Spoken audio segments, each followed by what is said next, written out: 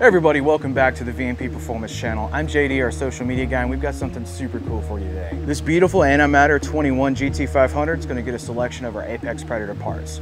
So when the customer brought it in, it just had a JLT cold air intake and a catback exhaust on it. But we all know, as enthusiasts, that's just not enough. So it's going to get our Apex Predator supercharger lid upgrade. It's going to get our street core, intercooler core.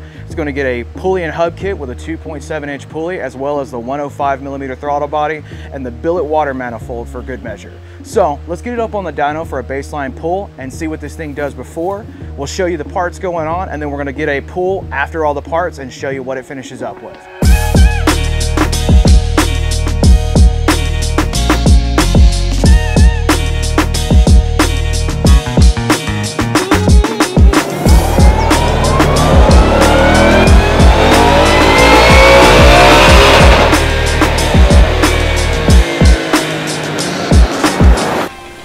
I can fix that.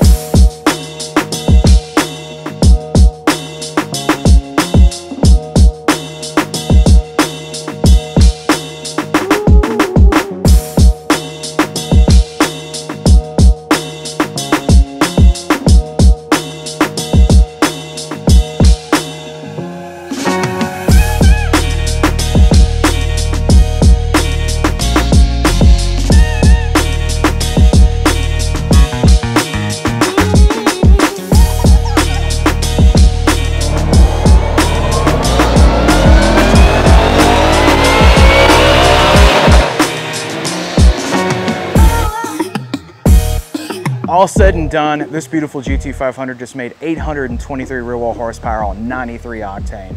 An incredible result for very simple modifications, and of course, the VMP custom tune. If you're interested in, in, modifications like this for your vehicle, give us a call at the shop, email us at sales at VMP Performance, and as always, like, share, and subscribe for more content like this. We'll see you in the next one.